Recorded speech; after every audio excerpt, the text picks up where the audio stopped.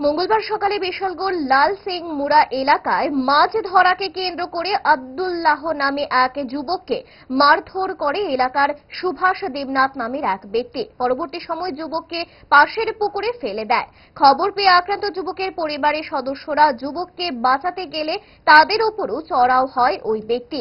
পরে আক্রান্ত যুবককে পুকুর থেকে উদ্ধার করে মহকুমা হাসপাতালে নিয়ে যায় পরিবারের লোকেরা। অভিযুক্ত সুভাষ দেবনাথের বিরুদ্ধে বিশালগড় থানায় মামলা দায়ের করা হয় আক্রান্ত পরিবারের তরফ থেকে।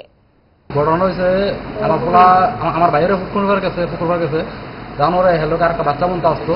তারপরে এখানে সুভাষ জগন্নাথ করে একটা লোক পুষ্কুনি পারে শুধু শুধু পিঠা আরাম করছে। ফিটটা মাইরা আর আরেকটা পুকুরও আমার বাইরে এই পুকুরটো পুকুরও ভালো রাখছে। আমরা যখন তুলছি হ্যাঁ গেছি গিয়ে আর জিজ্ঞাসি যে আমরা তো বর্তমানে গার্জিয়ান আছি।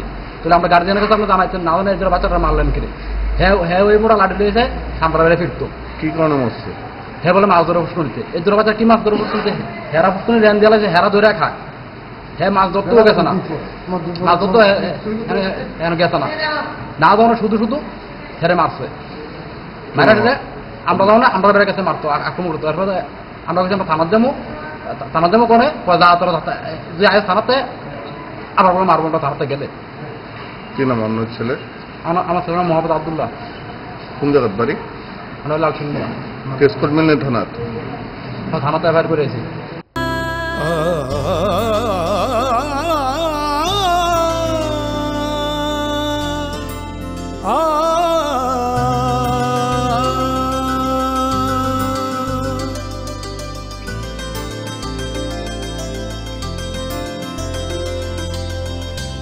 স্বর্ণকমল জুয়েলার্স আপনার চেয়ে আপন।